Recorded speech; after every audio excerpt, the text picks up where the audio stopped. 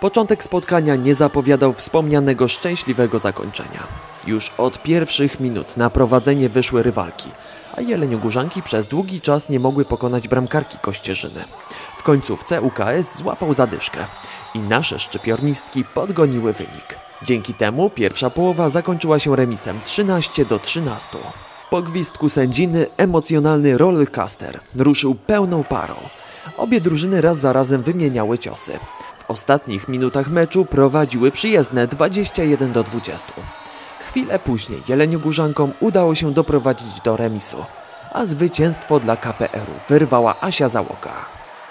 Cieszę się bardzo, że sprawiliśmy kibicom licznie zgromadzonym tutaj na, na hali takie emocje. Cieszę się niesamowicie z dwóch punktów, bo to w perspektywie meczu z Piotrkowią da nam niesamowitego, niesamowitego kopa i będzie nam się zdecydowanie lepiej teraz y, pracować. Brawo, że tak bardzo walczyły.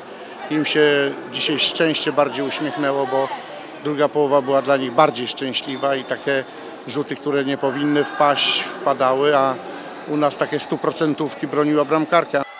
Dzięki tej wygranej KPR opuścił strefę spadkową i zajął dziesiąte miejsce w Superlice. 22 października kolejna szansa na zdobycie punktów.